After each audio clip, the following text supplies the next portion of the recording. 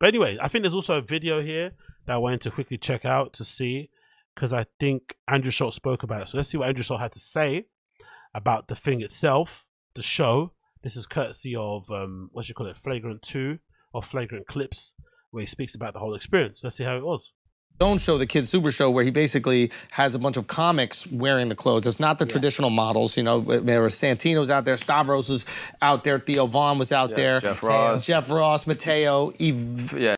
That's not a new idea, by the way. This has been happening for a long time. I forgot which one it was. I think it might have been an Adam Kimmel show, actually. Adam Kimmel, look him up, a very legendary designer who, for some reason, decided just to retire at the top of his game and hasn't been since hasn't been seen since in terms of that aspect of fashion. And he was doing a lot of this stuff, like having comedians be part of the show. Early Comme shows would have regular people in it. Uh, Alexander McQueen famously modeled in some early Comme des Garçons shows. So this is quite common. It does happen, but in recent years, the casting, maybe because of the cost of sampling clothes, has meant that they only cast models who are a particular size because you're obviously creating things on a runway only to showcase and not everything's going to go into production so to make everything kind of bespoke and custom fit to fit people's different body shapes is a bit long so you just make it as a standard kind of universal sizes so you can get them all in all the models but it's not that big of a deal but anyway you know continue uh, Yvonne. Yvonne. Orji, she's yeah, great. she was great. Awesome. And uh, Ferry, he's a French oh, comedian. Ferry was a French comedian, exactly. Yeah, and, and then Balvin. you know, J Balvin came and oh, did wow. a joke. That's like amazing. Yeah. Yeah, and then Tyra hosted. Oh, sick. J Balvin did a joke. That's pretty sick. So J Balvin did comedy. That's pretty cool. Again, if you're Brendan Schaub, you'd be so pissed. Oh shit! Yeah. Yeah, yeah, yeah. I knew Tyra was there. And uh, and, And then I was on the with- show yeah. obviously as well. And then like like doing that and like transforming. Oh, sick. He's got those mischief, um, you know, whatever sneakers on, right? That they did. That's pretty cool. what one of these fashion shows can be. Like it was by far the just most unique way of delivering the show. Yeah. And basically, when you look at all these other fashion shows, you're basically trying to go, what's the obstacle course for these emaciated people to walk around in? Yeah, yeah. That's the that's the challenge. It's like, do they walk around in nothing? Do they walk around on water? Do they walk around in a house? Like, what is it? And he was just like, nah, we're not doing it with models. We're gonna have these comedians go up there, and How was that? son, It was. put it this way. Outside of the show, the, the, the theater held like 1,300. Which you didn't know.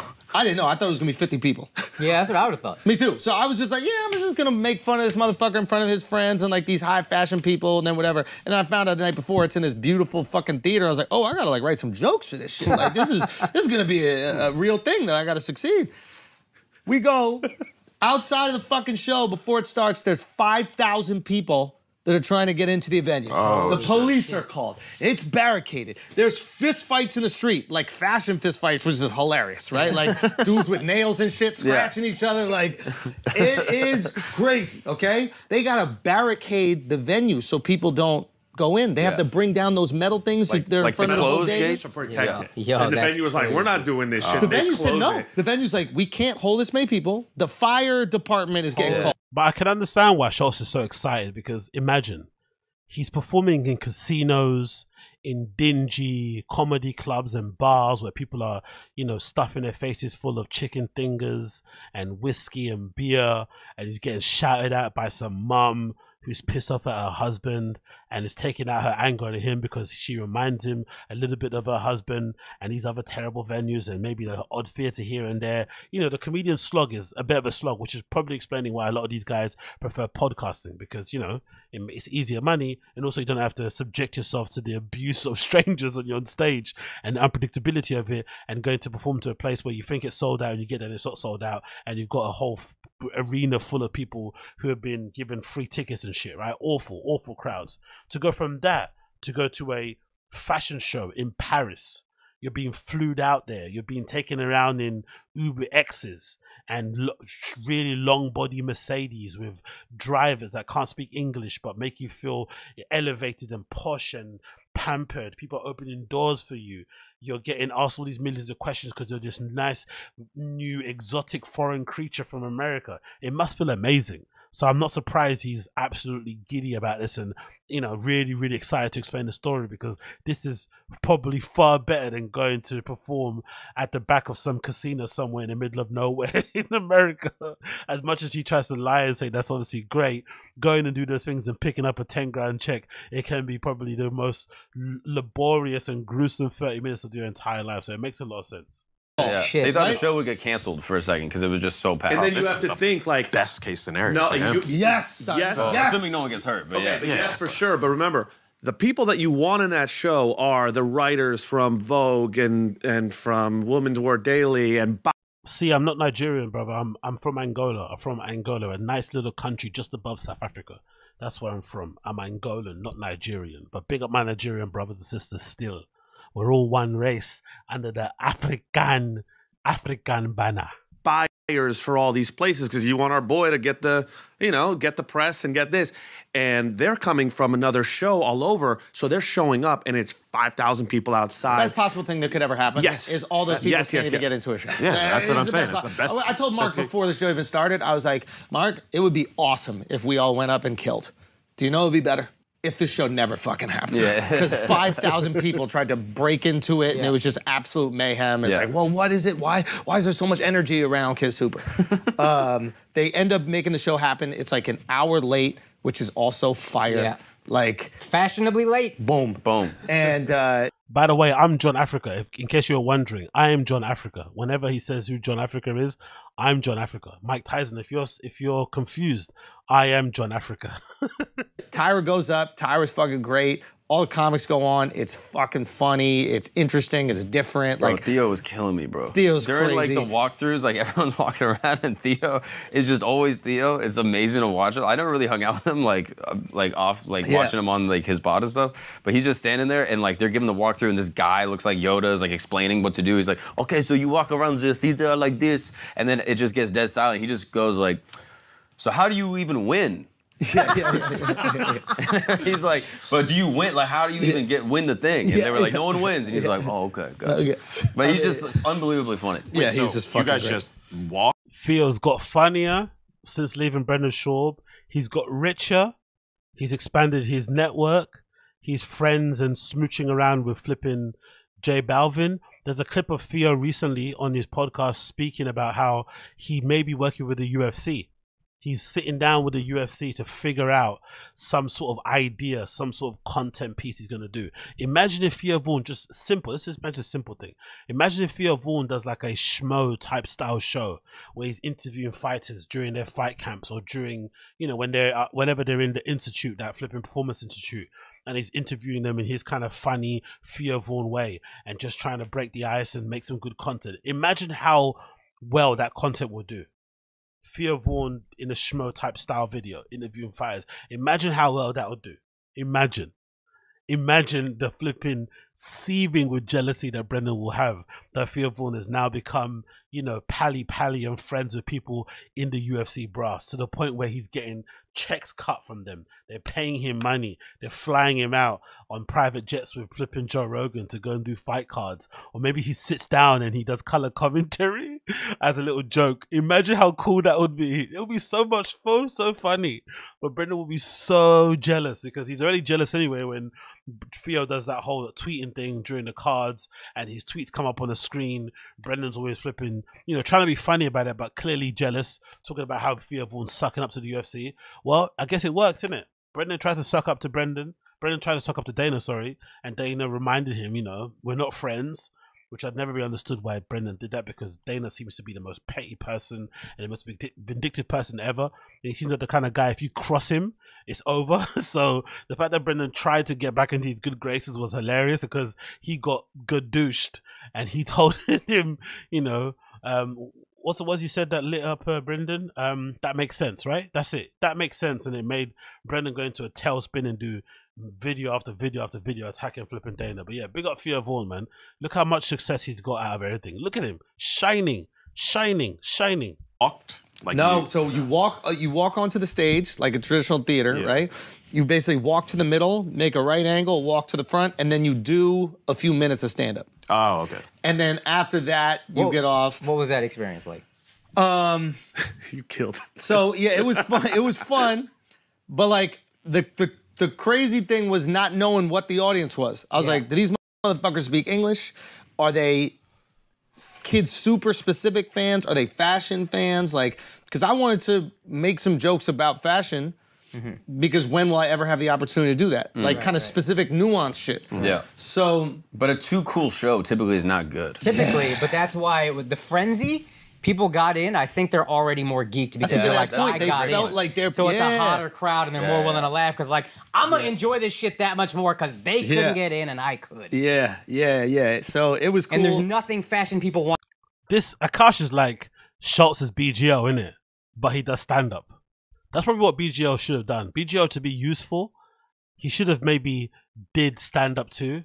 Maybe he could have been in Brendan Schulz's good graces because because Akash will get on his knees and give Schultzy the good glizzy guzzling in it. God Almighty, man, he is really he, he's looking at he's looking at um he's looking at Schultzy. Do you know how you used to look at your parents when you needed money when you were young?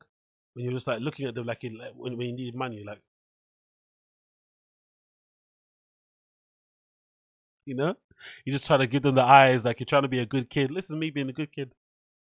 That's how Akash is looking at Schultzy. He absolutely loves him. Like, that's his man. He loves that guy. He loves him. That is pure love and adoration. Like I agree with everything you're saying. I know exactly where you're coming from. It's like this. It's like that. He loves him. Really? Uh, Uche, okay, Akash is big in Canada. Is Akash big in Canada because they've got a lot of Indian people there? I don't know. Pers- Oh yeah, they're doing it. Isn't Thingy from India? So isn't isn't Russell Peters from Canada? He's Canadian, right? I'm pretty sure he said there's a big Indian population in Canada. Or, or am I or am I bugging out? Didn't he say that? Yeah, I, I'm pretty sure Russell Peters is from is from Canada. Maybe maybe he's not. He's from fucking Ohio or somewhere, Denver. But regardless, Akash loves Schulz. So BGL should have definitely do. He should have definitely did. Um. Oh yeah, Nav. Akash is Nav. Um. BGL should have definitely did stand up and basically try to be um Brendan's Akash. Yeah, be to Akash. Yeah, you know what I mean. You know what I mean. Let's play it. Want more Yeah. than to be a part of the thing that nobody could get into. yeah, yeah, yeah. Oh, the best. Can I read something from Vogue that they wrote on this? Uh, yeah. They wrote on like the comedians and their little Fuck bits. yes, read it. they wrote, wrote about Andrew. The closing act, Andrew Schulz worked a routine around Alexander Wang that was enough to give a publicist recurring nightmares. Oh, you- you guys heard of Alexander- Nice, good guy. I like that. Alexander Wang content is good because if I'm not mistaken, Alexander Wang was putting, was sprinkling, was doing a bit of salt based sprinkling of MDMA in the drinks of unbeknowing young twinks and getting them to get lit. And then obviously, you know, taking advantage of them in a sexual manner, in an adult manner. Alexander Wang, the famed designer, who's funny because Alexander Wang is also the favorite designer of flipping Julia Fox, who's a big advocate. She's a big Amber Heard apologist. She's like, oh, Amber Heard didn't get justice. Johnny Depp is an abuser, all this social justice stuff. But then she loves wearing flipping Alexander Wang and shouting him out and giving him praise. When it's been documented, I think they settled out of court that Alexander Wang was spiking young models and scenesters drinks and twinks and whatnot and basically doing loads of really weird inappropriate sexual and really horrible stuff to them which is pretty crazy to be honest. Adderall like really really rams Hey, you got some accusations. Yeah, so he was he was basically like me too and dudes like crazy. Yeah. and it was funny. Like after the show, we're at the after party, and there was a bunch of these uh, these male models came up to me, and I know they're male models because they uh, called themselves male models, which is the weirdest thing. Yeah. like you could just be like, we model. Yeah. you don't have to be like, we're male models. Yeah, yeah. Yeah. I'm like, oh, is that what gender? Oh, I'm- Like- hate he's that's a bit of hate there I think they look really good looking that's why that's a bit of that's a bit of male hate because you know what a male model looks like. You see a guy you can tell he's a model straight away. That's a bit of hate. That's a bit of like feeling inadequate you know because that's the one thing you because I've only been to Paris Fashion Week once um when I went for one of the off-white shows back in the day. I, I was able to get an invite from Virgil so big up Virgil RIP to the great. But when I went to a fashion show I think it was like 2017 the one thing you realize when you go to a fashion week especially Paris Fashion Week you immediately feel ugly. like instantly you feel ugly. I don't care how hot you are in your area, how cute your friends think you are, how much attention you get from other men, or women, when you go to Paris Fashion Week, you immediately feel underdressed all the time and you feel ugly all the time, especially if you're just a regular civilian and you don't, you know, stun every single day. And I remember that being one of the occurring sort of emotions. And then, you know, after day two, you kind of get used to seeing beautiful people and people dressed amazingly after a while and it becomes normal. But the first time you land, when you first get interacted with it, it's kind of, you know, it's kind of hard to take in all these flipping stunning people who clearly take a lot of pride in their appearance and spend a lot of money on it. And here you are sitting there like I was in a little Uniqlo t-shirt with some Levi jeans, some Air Force Ones. You're like, ugh. I'm a male nurse. You're like, you just you gotta let them know. You know what I mean? It could be anything. I mean, I'm gonna add gender to everything from now on. are you a male comedian? I'm a male comedian, Yeah, yeah. and I was doing male comedy that night. But uh, but uh, yeah, so I was like, I was like thinking, all right, what's the joke about? What's the joke about like Alexander Wang? And I was able to like tie some things in and like kind of you know whatever. Whatever. We'll probably post it. It'll be up soon. Whatever. We'll get it. We'll post it. And then um, Oh, please do. Just doing some other. that that'll go viral again. That's gonna be awesome. Please share that. That'll be awesome to see them go viral within the little fashion community because it's been pretty weird how he was able just to come back to fashion with little to no reprimand. Really, I know there's nothing you could do retroactive as an industry, but he was documented. He legitimately spiked these guys' drinks and sexually assaulted them, right? In many, many ways. Some really egregious ways, like really horrible stuff, like documented stuff. And he just got welcomed back like nothing happened. Crazy.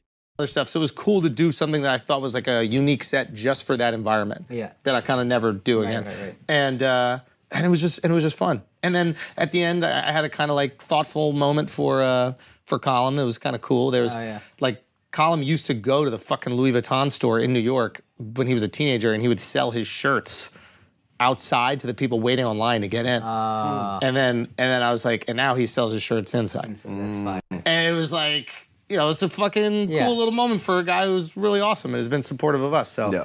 But even if you don't care about fashion, I feel like his story and what he's done, like trans. to be fair, the the fact that these guys love this kid super guy so much and his designs, in my opinion, suck balls, says a lot for why I don't like the designs. If fashion, if comedians think it's good, it's probably a bad idea. Comedians love Amiri and Gucci and all that sort of gaudy stuff anyway, so they don't have the best, you know, they like fucking wearing Roots of Fight t shirts and all this sort of nonsense, but no thank you so much. I don't want my walls to cross over. I'm very segmented and um yeah, I'm very segmented and in that way. I want my fashion stuff to exist there, my sneaker stuff to exist there, my UFC stuff, my foot. I don't want crossovers. I don't want my UFC fighters, you know, crossing over my footballers. I don't want any of that stuff. I just want them to live in their different buckets, and I can dibble and dab when I need to, and that's it. But I don't want them to kind of cross pollinate in any kind of way, shape, or form, in the slightest. Personally. Sense to where it can go into any industry. That's what I thought was cool about it. And like I, and fashion, his team too. Like he's got a Yeah, great yeah. group of guys. like shout out to. Foda and like yeah, Yeah. they, he's got a what they got going. Uche, I'm glad this comment didn't come. I'm glad, I'm glad the chat. I had to restart the chat box. But Uche's comment is flipping wild. I have this random theory that Schulz's wife is trans, which would be wild considering how much they go in on the trans on their show. I have a trans friend that's passing, and she looks really similar to his wife.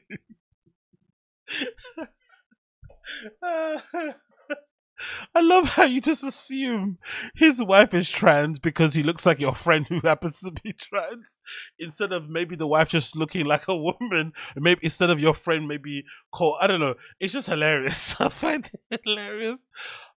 I'm not going to be the guy that's going to try and pull up Schulz's wife on the stream because I don't think that's fair. She's not a public person. She's just, you know, linked with shots and they're together. But I really want to see what she looks like right now. But I don't want to be that guy pulling up these things and tearing people down. Especially when it comes to women, it's really weird when a guy sits here and starts giggling over girls, you know, and taking a piss out of what girls look like. I think it's fun to do it with guys. It's all well and good. But when I do it, the optics are a bit bad. But what is this thing? You know what? Oh, sorry, sorry. What's oh, um? I'm just thinking. I'm just thinking. I'm just thinking. I'm just, just thinking. What is this thing issue with the, the wife anyway? I think whenever I jumped on the flagrant subreddit, I did see a couple of messages here and there about people. Yeah, that's what. Sorry, that's what I saw. I think I saw Red Bar talking about um. Red Bar talking about maybe Schulz doesn't like his wife and might get divorced or something. Why? What's that narrative? What's that narrative? Why are people saying those things? I don't get that impression. They seem to be madly in love, from what I can tell. They're always hanging out together. Like Schulz seems to be one of the rare comedians in that JRE extended universe who actually talks about going on dates and hanging out with his wife. Like he takes pictures of her on Instagram. They're like holding hands and you know have their arms around each other and clearly look like they enjoy hanging around each other. Whereas I feel like the rest of the comedians basically use their wives as like adult babysitters. Do you know what I mean? They're basically that's what they are. They don't actually have any kind of uh, friendly relationship or anything. It's just business sort of thing. Like you look after the kids, I go collect the money so you can drive the G wagon. Whereas I feel like with hers, they look like they actually are friends and they hang out, and she comes to shows and whatever it may be. I don't know. Who knows? Who knows? But yeah, let's play the end of it and we'll continue. Going on kind of reminds me of what we got going on, man. It's Yeah, like it's really cool. Yeah, and Like was- even when they're putting together the show, I was like, oh, these motherfuckers don't have no clue what they're doing. Yeah. They're just doing it, and I was like, yeah, that's every project we've ever done. Yeah. Yeah. You know, we're like, we're gonna make a special for Netflix, Yeah. and then they're like, have you done this? We're like, man, don't worry about it. We gonna figure that out. Like, But it's just cool. Like fashion is so exclusionary and so like no one can get in and like so too cool. And what he does is like opens it up. Most of these fashion shows. Mm, it's still exclusionary, my friend. Who got into that show? Did you see an invite? I didn't see an invite. Did you get an invite? I didn't get an invite. It's still exclusionary. Let's not let's not lie and say because it was our friend, he made it open arms. and Everyone was walking in there. I didn't see uh, any regular folks in there. Mostly industry folks. shows are like 100 people he's like 1300 people can come here like fashion shows are like oh you have to look this way and you have to be this thing and you have to be super cool and he's like nah fuck it get stavros in here yeah like I don't, it just it feels much more open and much more like uh What a shot to stop. But yeah, big up them. I guess they had fun. Big up Kid Super, even though I fucking hate the clothes. But I guess if I'm Brendan, I am absolutely pissed. Like I'm the fashion guy, and this is what's happening. Not on, not on my watch. Not on my watch. Not on my watch. But hey, it is what it is, isn't it?